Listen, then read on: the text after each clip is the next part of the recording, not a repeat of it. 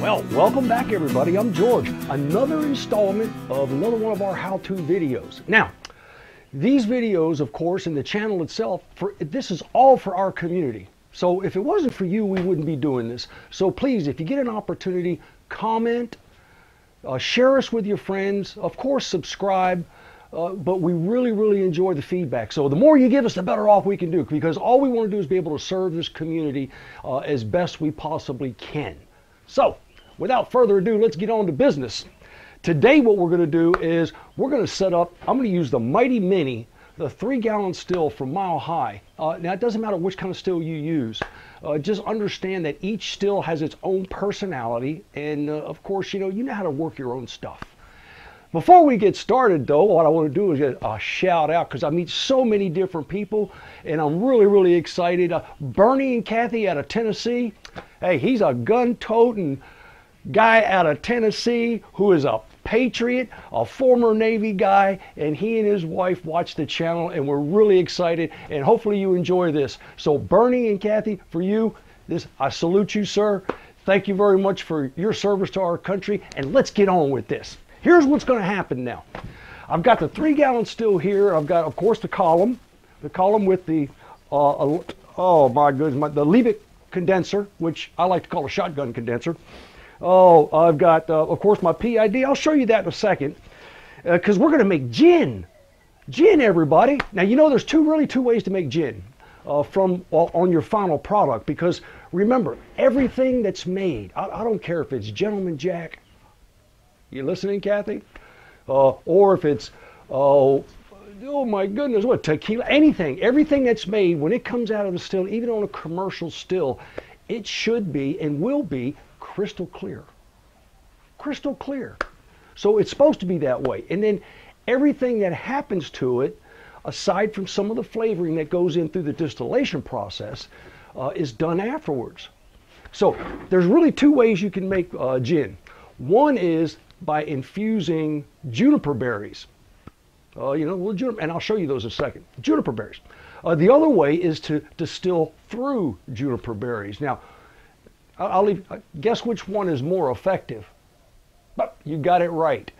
If you distill through juniper berries, it is much more effective. It's much more, the, the tones, the notes, the flavors are much more subtle and long lasting.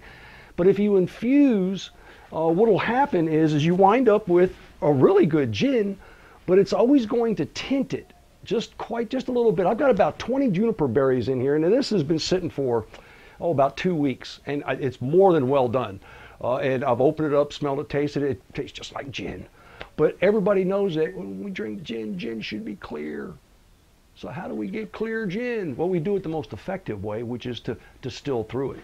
So what we're going to do is, uh, and I'll show you this as we go through this, what we're going to do is we're going to take just an old standard piece of cheesecloth. So you don't have to go out and buy nothing special. Uh, a little piece of string. We're going to crack some juniper berries. Where do I got those at? Those are sitting here somewhere. There they are. I've got a pack of these. I got one ounce. Now I've used about 20 out of there, so there's about three quarters of an ounce left. Now, for a three gallon still, I'd recommend you use maybe about 20, 25 berries. The juniper berries, and they're small black round berries. You can see those. Yeah, just small round black berries. Um, that's where you get that sort of that piney, turpentine It's really hard to describe unless you're a gin drinker. Uh, but it's got a really, really good flavor. So what we'll do is we'll take these, excuse me, and uh, we'll crack them, take a little hammer and just pop them, each one of them, because you don't want to put them in there whole. And then we're going to make a small sock. We're just going to put them inside this cheesecloth we're going to fold the ends of the cheesecloth up and we're going to make a satchel. Tie a piece of string around the top of it and we're going to drop that down inside of our column. Now, I'll have my copper, and, and this is not a discussion about whether you need copper, you don't need copper. I'm going to put it in there because most everybody still believes, and that's fine. That's fine. Um, I'm not going to argue the point. Uh, having copper, not having copper, to, to me doesn't matter. But I'll put it in there just to satisfy everybody and just to make it complete. But I'll roll this up. This is about 18 inches, and I'm going to roll this up. And see, that's all you have to do is just roll it up nice. Uh, not real tight, but just tight enough to get inside this two-inch column. I'll slide that down there, and then the juniper berries will go on top, and they'll sit right here. Now, what'll happen, what'll happen is now is that our vapors, as they start to rise through the column, they'll rise through that copper.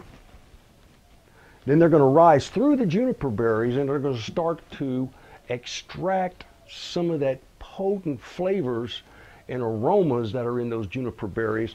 And then it's going to transfer over into our condenser and then it will come out the end. Voila, we will have a clear, clean, crisp gin. So see, that's how easy that really is. Uh, and, and I'm using this because I just want to show you that uh, yeah, you could buy a gin basket. You know, gin basket would go in the middle of the column. You know, it's it's the, but the cost sometimes is prohibitive. Um, but gosh, just you just want it in the vapor trail. You want it effect, as, as effective as you can get it in the vapor trail. So put it in this. All right. Uh, one other thing is that I've got one of these. Now this is not necessary. Absolutely not. But I had it sitting on the shelf and I'm like, my gosh, I haven't used that in a long time. So this is just a glass extension. I'm gonna put this on the bottom and I'm gonna put my column on top.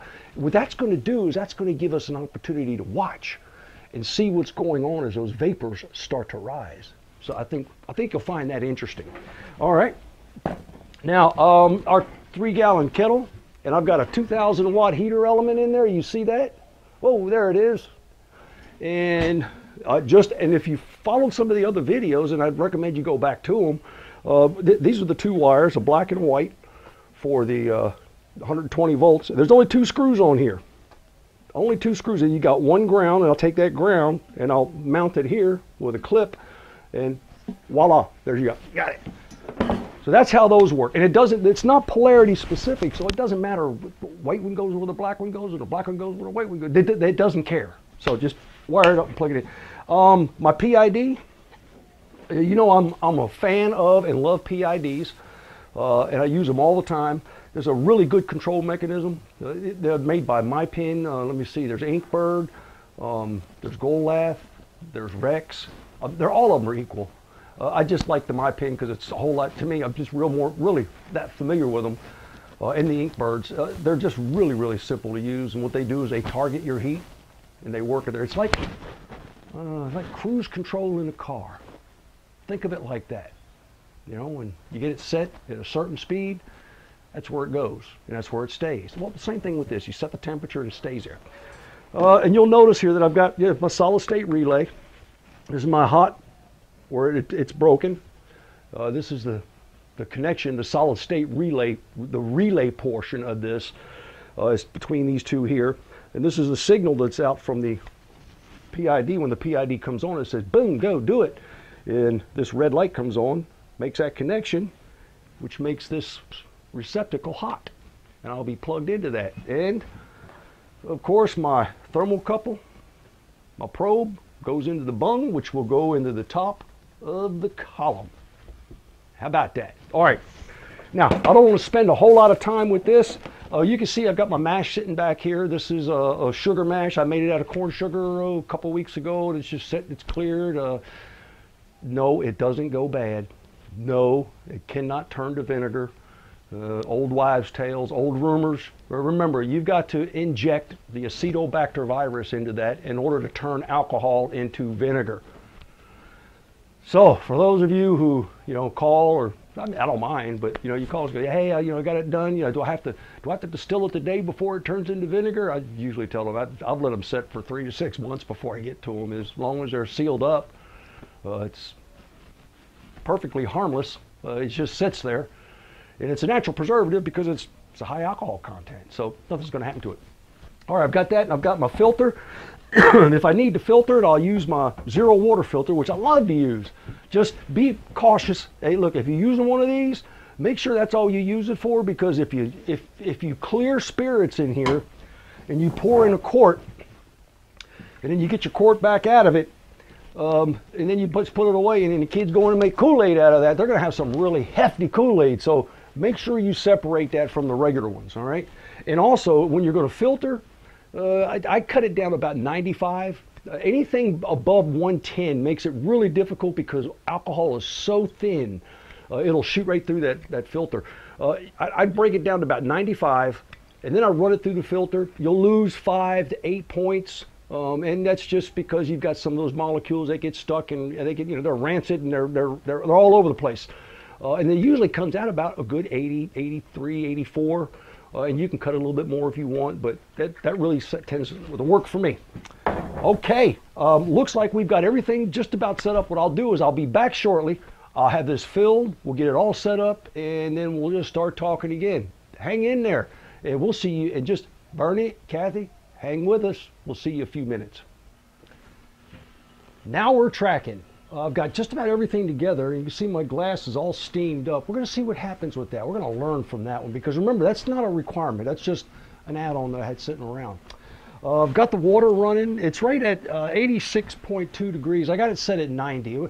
I like to step it up slowly so that I got, you know, I maintain control. I wanted to show you this. Now, this is the juniper berry, and I uh, don't want this to get too out of focus. That's a juniper berry, um, and this is a juniper berry crushed. Wow. That's kind of hard to show you. What I've done is I've taken a hammer and uh, I just tapped it and well there it is. You can see that it's just just cracked. So you, you don't have to uh, you don't have to grind these or anything else. And so what I've done is I put that in the satchel already. And you see I just folded up the ends and tied a string around it. Now you might want to wonder why did I put a string on it? Well I'm getting ready to drop it down inside that column and I'm going to let it land about right here. And I'm going to leave the string on there so that in the event that it comes out a little bit too strong, maybe I've used too many berries, uh, I can always pull the top off, pull this out and replace the top. Uh, so I don't waste a whole batch. I can, I can actually kind of adjust my flavors and uh, if it needs a little bit more, I can always pull it out, add more, and stick it back in there, but otherwise you're stuck with it. So bear with me and uh, we'll get to doing some collecting. We're going to collect in pint jars. Oh yeah, in these, or half pint jars, just because it's a small run. I'll be with you. Well, that didn't take long. I've got it all set. Everything is balanced. Uh, you can see that the steam inside my, my glass here, ouch, that's hot. uh, it's starting to dissipate and I can still see drops coming back down. So I've got a little bit of, just a little bit of reflux action going on in there uh, as it condenses and starts to drop back in. And you can see the first three jars I have. And from my right to your, my right to left is uh, jar one, jar two, jar three. Uh, and I like to mark those just so I kind of know where they came off on the run. I pulled off the methanol, which came out pretty, pretty rank, but uh, it, it's supposed to be that way. It burns yellow, so when it started burning blue, I started uh, keeping them. So now I've got, as a matter of fact, I've got this first one here that this is actually just pure, clear. Uh, what I didn't do is I didn't have my satchel in there in time, and this one filled up on me. That's pretty quick. So I've got those three and I've smelled them and they've got, they've got this beautiful aroma of, uh, of gin. So we're making gin out of juniper berries, a sugar mash, sugar wash, and a uh, small three gallon still. And we're just, we're running, we're happy here. So there's not really that much more to show you.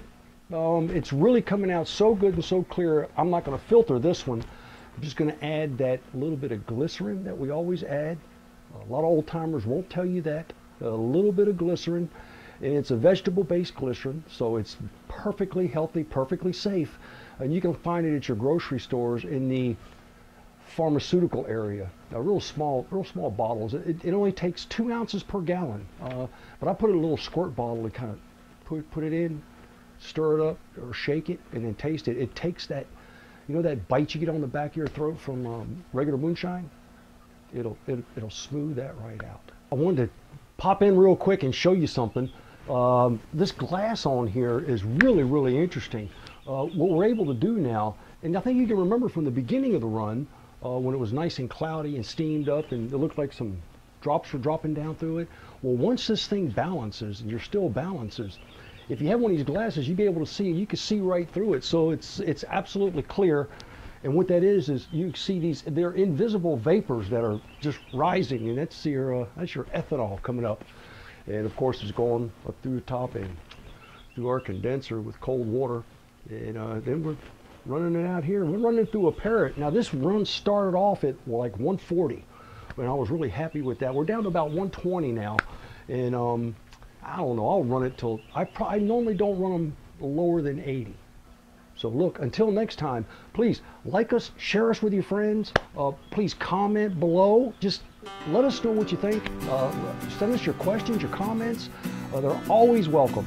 And until next time, as we always say here, happy distilling.